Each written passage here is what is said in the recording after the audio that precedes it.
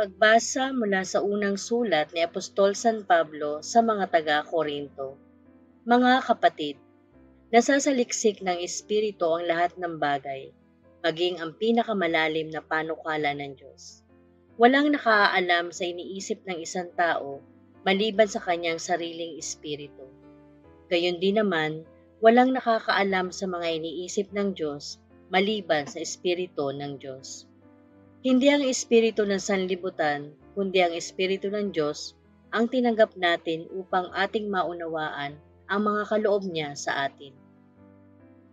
Sa mga nagtataglay ng espiritu, ang ipinaliliwanag namin mga katotohanang espiritual, mga pananalitang turo ng espiritu at hindi ayon sa karunungan ng tao ang ginagamit namin.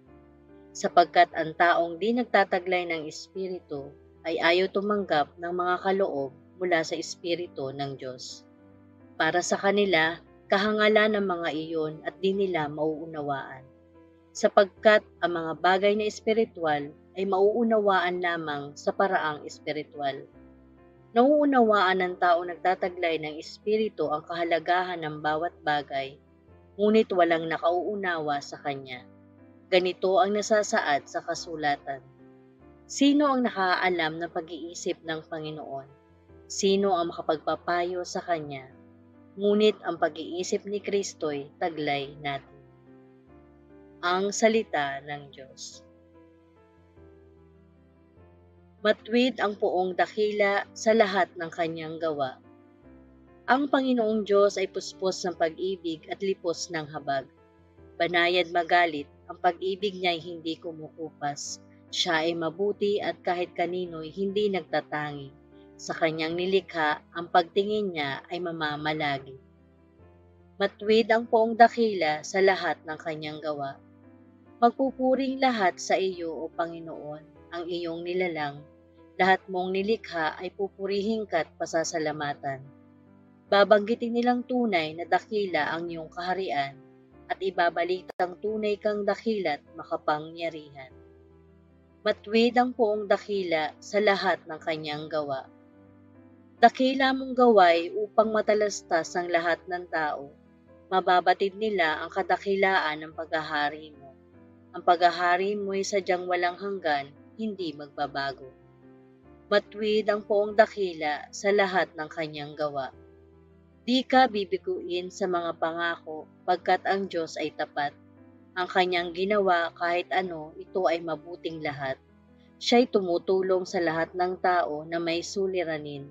Yaong inaapi, inaalis niya sa pagkagupiling. Matwid ang poong dakila sa lahat ng kanyang gawa.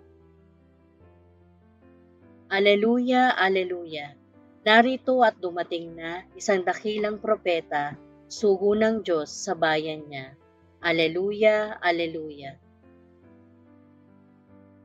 Ang mabuting balita ng Panginoon ayon kay San Lucas. Noong panahong iyon, nagpunta si Jesus sa Kapernaum, Galilea. Nagturo siya sa mga tao ng araw ng pamamahinga at nagtaka sila sa kanyang pagtuturo, sapagkat may kapangyarihan kung siya'y magsalita. Naroon sa sinagoga ang isang lalaking inaalihan ng demonyo o isang masamang espiritu. Sumigaw siya ng malakas, ano ang pakialam mo sa amin, Jesus na taga Nazaret? Naparito ba upang puksain kami?